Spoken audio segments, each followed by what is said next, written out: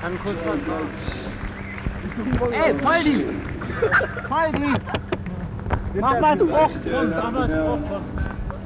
Mach mal einen Spruch! Woodstock, Altamont, Fehmarn.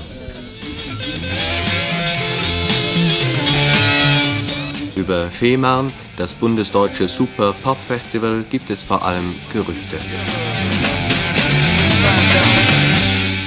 Verschiedenen Erzählungen über das größte deutsche Popfestival widersprechen sich fast in jedem Punkt.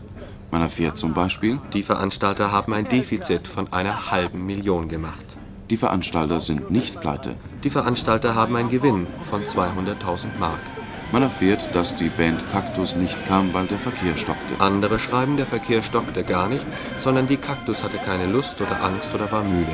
Die einen sagen, Liebe und Frieden seien Wirklichkeit geworden. Andere sprechen vom Marsch der Verzweifelten, wieder andere von Konsumidioten. Man wird nicht klug aus allen gedruckten Gerüchten, nur eines ist sicher, alle vier Elemente waren anwesend und wirksam. Sturm, Schlamm, Regen, Rocker.